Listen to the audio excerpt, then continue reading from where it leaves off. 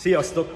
Nem egy testnevelés órát akarok tartani, mert nem is ez az én e, felelősségem és kötelességem, hanem csak egyszerűen Isten a szívemre helyezett egy olyan gondolatot, ami a Zsoltárban van megírva, mégpedig az, hogy úgy, ahogy a fizikai testünkre is e, gondot kell viselni, és jó, hogyha edzésbe tartjuk magunkat, és sportolunk, és mindenféle dolgot teszünk, így van ez a mi lelkünkkel is, az első Zsoltár első két versében van arról szó, hogy hol nem áll meg az ember, hol, hova nem ül le, és hol merre jár.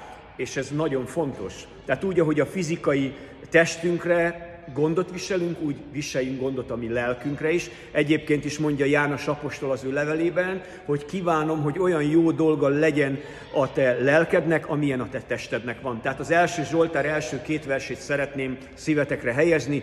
Boldog az az ember, Mitől vagy boldog, és mi által lehetsz boldog? A Zsoltárban ez le van írva. Aki nem jár a bűnösök tanácsa szerint, nem áll a vétkesek útjára, és nem ül a csúfolódók székébe, és nem csupán a fizikai testét eh, ápolja és gondozza az ember, hanem azt mondja ez a kijelentés, hogy a, a gondolataink, az elménk, a szívünk sem mindegy hol van, hanem az Úr törvényében gyönyörködik, és az ő törvényéről elmélkedik éjjel és nappal. Kívánom, hogy viselj gondot a te testedre, de a te lelkedre is, és legyen gyönyörűséged, az Úr beszéde, az ő szava és kijelentése. Az Úr áldjon meg valamennyünket gazdagon. Amen.